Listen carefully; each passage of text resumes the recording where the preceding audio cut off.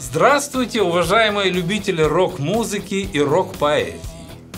Во вторник, 23 июня, выйдет очередной, восьмой по счету выпуск нашей рубрики «Рок-поэзия». Этот выпуск, как и все предыдущие выпуски, будет тематическим и посвященным главной теме, волнующей каждого человека. То есть выпуск будет о жизни и о смерти – о том, как они взаимосвязаны, как влияет на нашу жизнь судьба и время, о том, стоит ли думать о смерти и как часто это надо делать, о том, стоит ли что-либо доказывать другим людям, и самое главное, самому себе, стоит ли что-то доказывать, и еще о многом другом. В выпуске традиционно будет представлено 5 стихотворений. Время летит, а мы ползем. Быть современником нам или современным?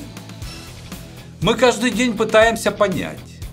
Смотрю истории людей, и еще один стих «Мне не все равно». Я предлагаю посмотреть на жизнь, но в первую очередь на смерть, оптимистично. Поэтому не пропустите 23 июня в 18.30. До свидания, друзья!